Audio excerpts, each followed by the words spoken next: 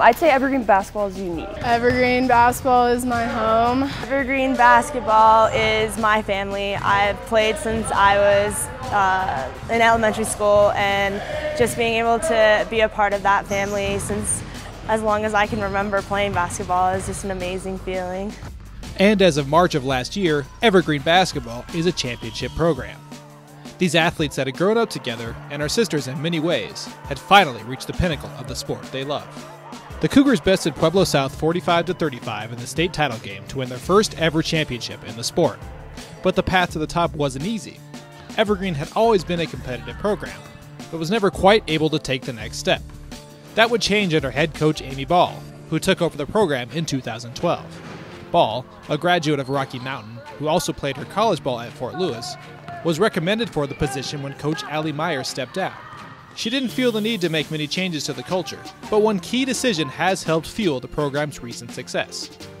When I came in, I just wanted to kind of establish my own program uh, and system, uh, keeping it all kind of unified. Everyone ran the same thing. I think what's great is each year a group of kids come in that have been playing together since they were in fifth or sixth grade. And I think that's a huge factor to our success because they've played together, they've built that team chemistry. So when I get them, then it's just time to implement my stuff and they're super coachable kids that buy into it and I think that's why our system's been so successful is we have the team chemistry plus then you know putting in the structure and discipline of the system.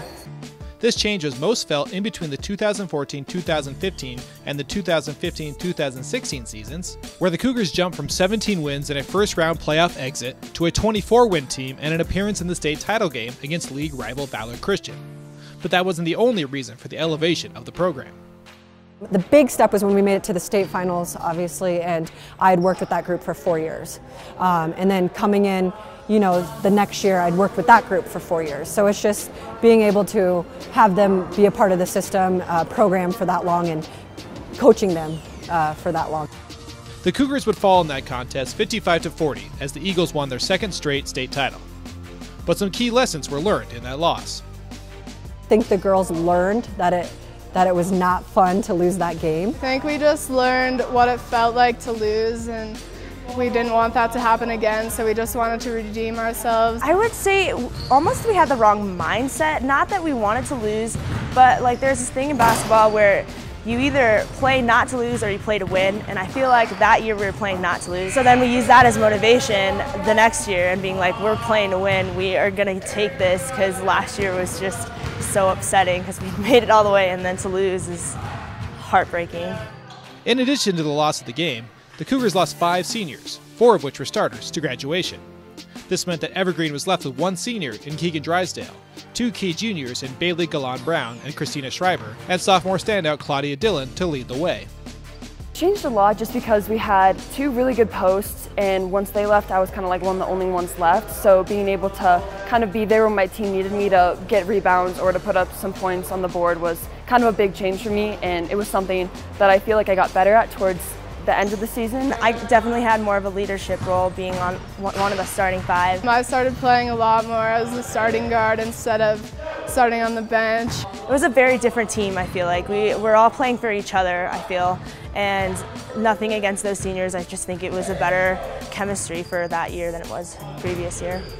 And that chemistry was just the right concoction to finally get over the top. The Cougars would rack up 25 wins, yet wouldn't win the league title, as their three losses came to rival and league champ Golden, and of course Valor Christian.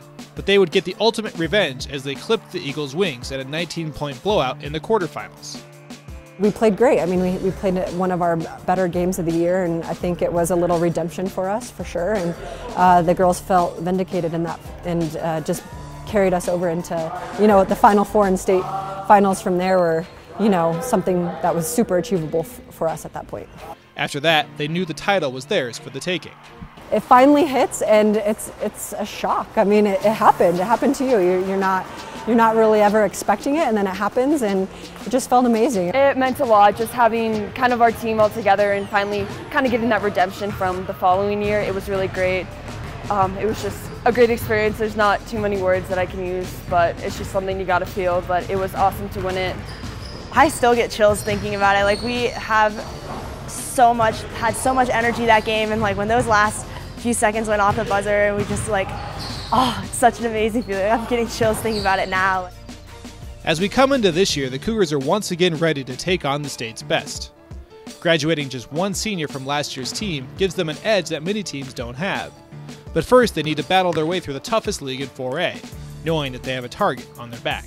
Everyone that we play is going to try to play their absolute best to try to knock down the champions, so we just got to stay on top and play our hardest right back at them. I think we need to approach this season even like with more intensity and more energy and focus than we did last season because obviously we have like a, an X on our back that everyone's going to want to come and beat us and um, every game that we lose is going to be that team's championship game because they beat the state champs. I honestly just think we have to take it one game at a time. A lot of people just ask, like, do you think you'll go all the way? And we're like, just like, in my opinion, I just think we have to take it one game at a time, baby steps. We'll see how that goes. And if we keep going, we keep going, and we use what we have and just push. So.